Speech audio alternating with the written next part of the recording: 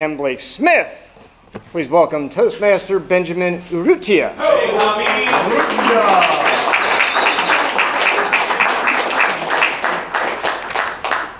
Good morning, fellow Toastmasters and distinguished guests.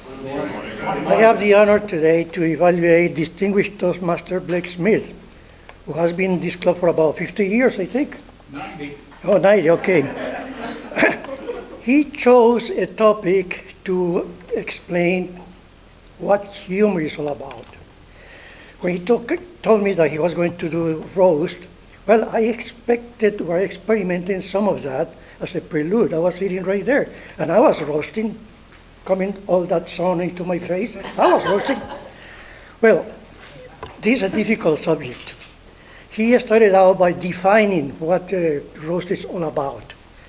When, where, who, how, all that. He did a great job, an excellent job.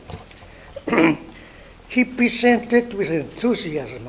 That is one part that is one of you excelled at. Uh-huh. You de- demonstrated also awareness of the audience. You are, well, after 50 years, you know all these people. Uh-huh. Okay. You look very comfortable, not like me at this moment, but you were in charge. And you also spread the audience with humor. That was so good. Uh-huh.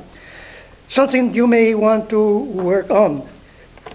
Just spread the, the eye contact. You, you seem to be talking to Tim, I think, to be good on your YouTube video, but you have to talk to the entire audience. Okay? Okay.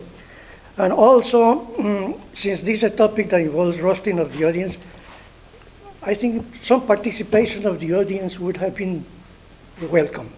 Yes? Okay. So to challenge yourself, slow down a bit. That was too much information in such a short, short time. Okay? And also, I like the way you ended up the subject. Be a volunteer who does not enjoy a barbecue. So call me this time you have a barbecue.